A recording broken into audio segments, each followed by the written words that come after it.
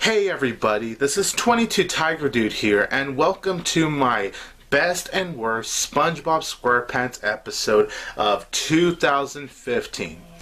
I can't believe it, guys. 2015 has flown by. The best and worst is back because I've been starting this since 2013. Unfortunately, due to the lack of new SpongeBob episodes in 2014, you know, with just two episodes that came out that year, I wasn't able to do best and worst. And now in 2015, because we actually had much more episodes, like finally, I'm able to bring back best and worst. I think 2015 has honestly been the best year of SpongeBob episodes in a very long time. The first half got to a very slow start, but then once we hit the second half of this year, well, 2015, non-stop new episodes of SpongeBob have been airing. I've been loving it. This is just my own opinion of me telling you what my best episode of 2015 is and what my worst episode of 2015 is. Out of all the episodes that came out in 2015, my best SpongeBob episode of 2015 is Tutor Sauce.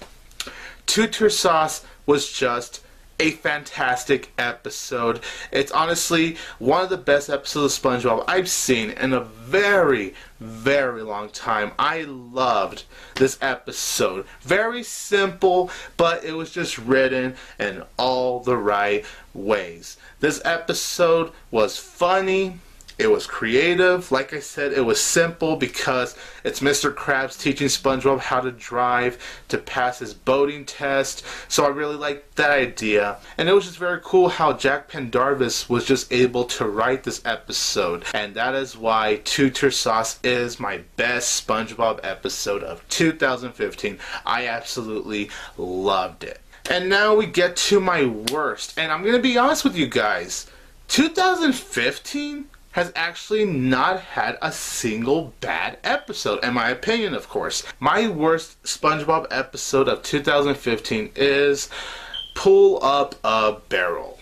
Now, like I said, you guys, it's not a bad episode, but compared to all of the other episodes of SpongeBob that came out throughout the year 2015, yeah, it just does not compare at all with those episodes. Now, this is an episode that I know some, if not most of you, told me in the comment section of my review for this episode that you actually liked it. You really enjoyed the episode.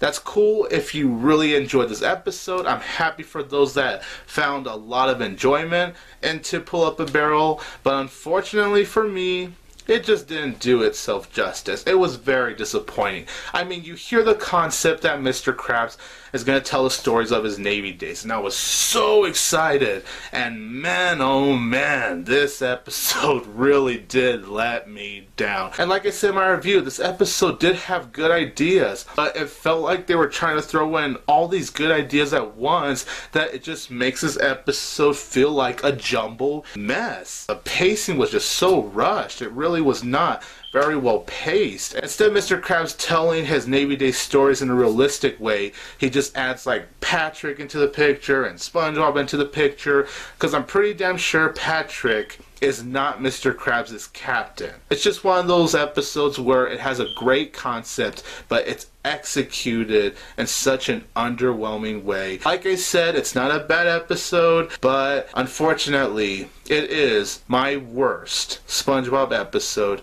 of 2015. So, you guys, that's my best and worst SpongeBob SquarePants episodes 2015.